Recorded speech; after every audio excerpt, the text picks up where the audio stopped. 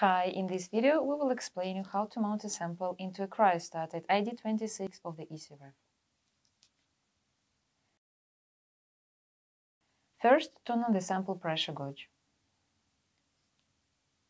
Fill the sample chamber with helium. For this, open plastic valve and larger black metal valve.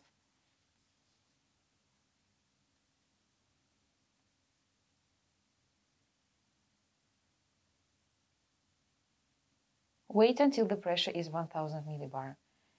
In the meantime, remove the motor cable and release the flange and the entrance of the sample rod.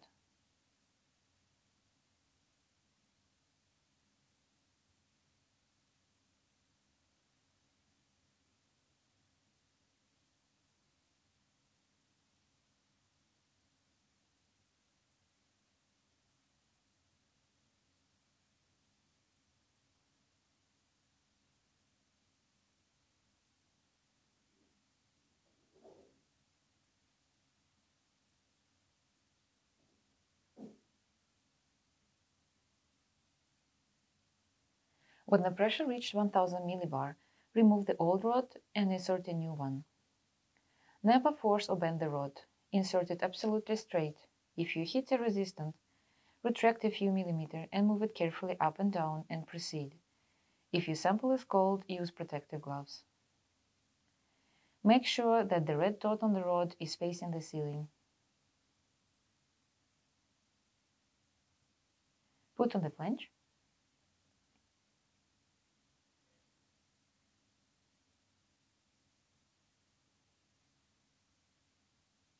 Connect the motor cable back.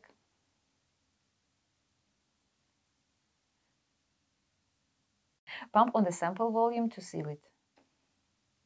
Turn off the helium flow by closing large black metal valve.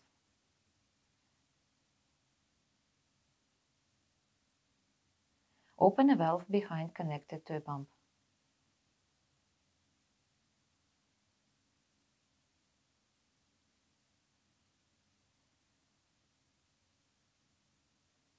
Pump and purge with helium at least three times. Wait until the pressure is zero.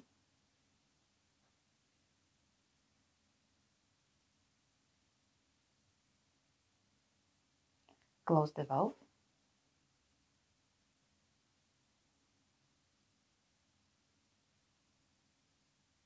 And add 80-100 millibar of helium.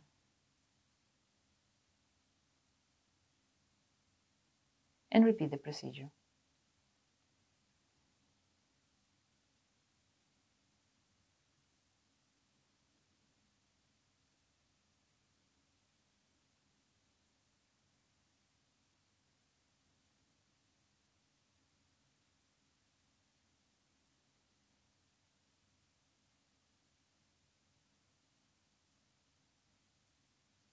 In the end, close pump valve